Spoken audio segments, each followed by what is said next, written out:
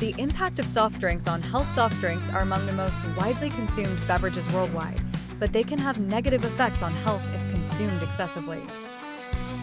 These drinks are loaded with sugar, caffeine, and preservatives, which can significantly impact the body. Let's take a closer look at their effects. 1. Weight gain and obesity added sugars.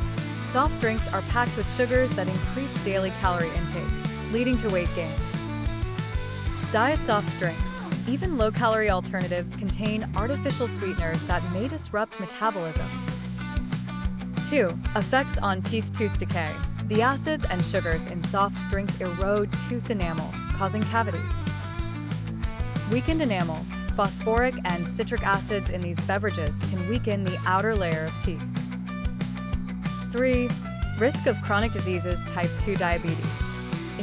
Sugar intake contributes to insulin resistance, increasing the risk of diabetes. Heart disease. Soft drinks are linked to higher triglyceride levels and lower good cholesterol, elevating heart disease risk. 4. Impact on the digestive system gas and bloating. The carbon dioxide in soft drinks causes gas buildup and bloating. Acid reflux. Caffeine and acids in soft drinks can aggravate acid reflux and heartburn. 5. Bone health calcium deficiency. Caffeine and phosphorus in soft drinks can reduce calcium absorption, affecting bone health. Osteoporosis risk.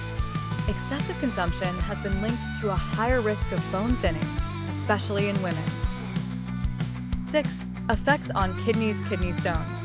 High oxalate and sodium content in some soft drinks can contribute to kidney stone formation. Kidney strain.